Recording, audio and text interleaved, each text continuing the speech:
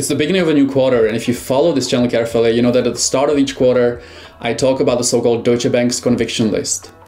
The Deutsche Bank's conviction list is a special report that the best equity analysts at Deutsche Bank, my former colleagues, put out each quarter where they talk about the best stock ideas for the following 12 months. And if you look back at the performance of the last quarters and years in terms of how these stocks in these reports that they are publishing on a quarterly basis do, they are right about 87% of the time. So this is certainly a report that I pay really good attention to. I go through it in detail and use it as an inspiration in terms of ideas um, and, and kind of put them on a shopping list to potentially add some of these to my portfolio. Now, this quarter we have 32 names in this report. 32 names, I'm leaving all the details below the video in terms of who they are, uh, their targets that uh, Deutsche is putting on them. And I'm going to spend the next 10 minutes or so talking about five of my favorite names out of those 32. But if you have any questions with regards to any of these names um, that I'm going to talk about or the ones that are listed below the video, leave it in the comment section. We can talk about the rationale, the investment thesis in the comment section. All right, let's take a look.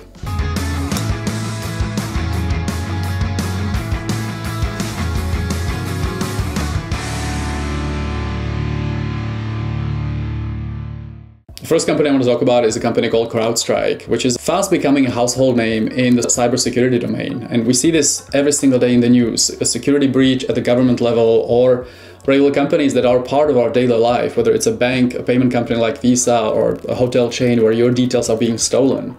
Cybersecurity is helping all of these entities defend themselves, and they are fast becoming uh, a leader in the industry. Uh, they will be a key beneficiary of investment in this space. This is a domain that is going to be with us for the next 10, 20, 30 years. And so when you look at kind of like the proliferation of the ransomware attacks around the world, uh, they are effectively rendering all of these uh, traditional antivirus systems ineffective and the whole security perimeter is being eroded. And so when you look at a company like CrowdStrike, they will be a huge beneficiary of all of the investment here. And the, the guidance that we see from the management of a 48% growth for next year is probably too conservative. Now, like I said, they are a clear leader in the industry now in this space. Uh, they have the broadest toolbox, uh, a long list of reference customers. Uh, they uh, have a go-to-market across geographies. And one thing they do really well at CrowdStrike is they balance growth and profitability uh, evenly. They are not, you know, a traditional tech company that typically sacrifices profitability for the sake of growth. They want to be a profitable company. Now, when we talk about the valuation, right, and where to actually buy this stock, this is a relatively expensive stock on a traditional valuation metric, uh, again, because there is so much interest in this space. When you look at the Seeking Alpha page and kind of the, the chart of the last year or so, you see that this is a stock that traded as high as uh, three, close to $300 per share uh, in you know during summer 2021, and then we had this huge sell-off at the beginning of 2022 in most tech names, and CrowdStrike was um, as low as $150 or so, and it's recovered since. But if you look at the uh, rating summary here on the right side, I really like looking at this. Uh, the Wall Street community has a really strong buy here. So when you kind of look at all the investment houses and analysts across Wall Street, they have a very high opinion of CrowdStrike. Deutsche Bank has a target of $240 per share, which I think is really conservative, uh, given, again, how huge this market is going to be and how well positioned CrowdStrike is uh, for the future. So I think this is not a trade. This is not a quick in and out kind of a trade. This is an investment that you want to stick in your portfolio at the right level. If you see it again below 200, this is certainly a screaming buy. The second company I want to talk about from the conviction list report is a company called NIO, which is a Chinese electric vehicle maker. And by the way, that's also becoming very fast a household name, especially if you focus on the EV market and kind of look towards China. Because China is really the biggest EV market in the world at this point. And uh, the Deutsche Bank analyst calls NIO an aspirational premium brand that has managed to uh, cultivate this image and deliver really a service that no other domestic Chinese uh, automaker has managed to deliver. Now, this year, 2022, will really be a pivotal year in terms of uh, strategy and financials for the company. Uh, they are set to um, start delivering the ET7 uh, model, which has had amazing reviews. Uh, they're going to be opening a second factory called NeoPark. Um, the SUV ES7 model is coming to the market, and then they'll have the ET5 uh, midsize sedan coming to the market. So the ET7 and the ET5 models will really be the most desirable cars in China. Now, when you look at the stock's performance, and again, we can kind of look at the Seeking Alpha page, you see that it really hasn't done much. And uh, one of the reasons, one of the big reasons why it hasn't done much, and in fact kind of declined from somewhere around 50 to $20 per share now, is uh, the fact that NIO has really kind of been stuck around 10, 11,000 monthly deliveries since September. They really hasn't haven't been able to kind of ramp up uh, the amount of deliveries on a monthly basis.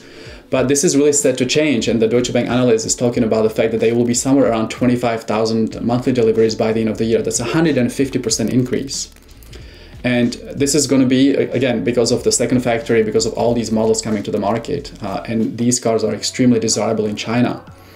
So from a stock market perspective, you know, I, again, I like to look at these rating summaries uh, on the right side here on the Seeking Alpha page. You see the SA authors, all the contributors to Seeking Alpha. They have a strong buy rating. The Wall Street community has a strong buy rating. And when you kind of look at the stock performance here, uh, the value of this company is a lot higher than the current share price uh, kind of implies here. So NIO will be one of the leaders in this industry. It's so far still relatively small, but at some point they will also start delivering cars to countries uh, outside of China. And the third company I want to talk about is a company called Aptiv. And if you don't know this company, this is a company we're kind of sticking with the auto space, the EV space. This is a company that's not uh, an EV producer this is a company that kind of delivers to all of them right? So if you if you want to be in this space because you recognize that the electrification of the grid and kind of the transformation of traditional uh, internal combustion engine towards electric vehicle cars is going to stay here and i believe it will uh, Aptiv is a company that kind of delivers parts and technologies to all of the automakers, and they have a huge, strong order book. Uh, they had 24 billion in business awards last year, which was a new high, uh, and the market expects it's going to be even higher this year. But really, they're going to be key beneficiary of this whole transformation of the electrification of the vehicle industry and the, the connected technologies in this space. Uh, the whole semiconductor shortages that kind of uh, the whole market is going through, whether it's delivering chips and chips companies, this is slowly going to go away. And Aptiv is really well positioned to ramp up production and deliver on that strong order book that they have. So this is a company that, again, uh, we had a 25 30% pullback. Uh, let's look at this um, uh, chart here again on the Seeking Alpha page. So 25 30% pullback uh, at the start of 2022, which really offers a great opportunity uh, to get in the stock at really you know compelling levels here. Um, uh, the Deutsche Bank community or the Deutsche Bank analyst has a, a, target of $158 per share on it. If you look on the rating summary here on the right side on this uh, Seeking Alpha page, you see the SA authors and the Wall Street community both have really strong buy rating uh, for Aptiv. So again, one of the investment themes, not a quick trade. You want to be in this space. If you don't want to pick just one vehicle, one EV maker like Tesla, like GM, like Ford, uh, that is kind of transitioning towards that space, or go in the Chinese name like NIO that I just mentioned, Aptiv is really going to be a huge beneficiary of this transformation. The next company on the list is uh, Uber that we all use on a daily basis. But Uber at this point is a really rare combination of a market dominant position in terms on a global basis clear optionality to unlock other uh, markets and they have a huge total addressable market there and at the same time a very low uh, investor sentiment uh, where people are just really not interested in buying Uber at this point. It's trading in the low 30s and the Deutsche Bank analyst has a target of $50 per share, which in my opinion is still too low given the potential that Uber really has.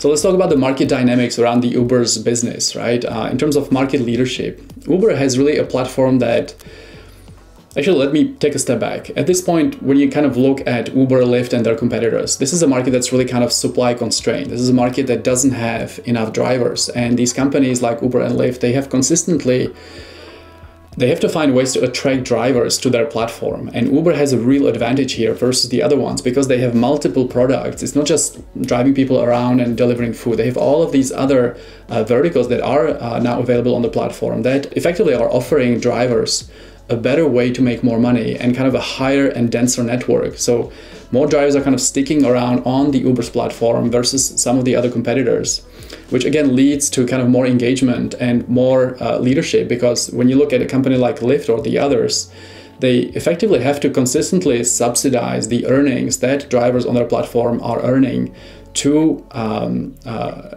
make them stay on the platforms, which ultimately leads to lower profitability for them. And Uber doesn't really have to do that.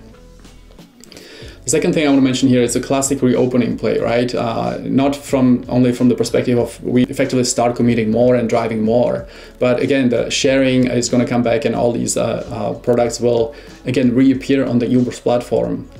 Now, uh, in terms of partnership, right, you've seen the news recently that Uber signed a partnership with the New York taxis and to list them on the platform again, which leads to more cars, more availability of uh, being driven, which leads to lower ETAs, uh, which leads again to uh, a more denser network, uh, which is you know higher earnings and more drivers on the platform sticking around around kind of Uber as a platform. When you kind of think about the future where Uber is heading, right, it's going to be the autonomous driving, but it's also going to be a, market where they are not at this point. Uh, they are delivering food and driving people around and a few other things, but they really want to become the last mile delivery uh, kind of they have the aspiration to be able to deliver anything to your door within 30 minutes. So this is going to be, if they really uh, realize uh, and build this foundation, uh, they will have a huge investment benefit in the future. So Uber, again, I think is a company that uh, is a theme that's going to be here for the long run.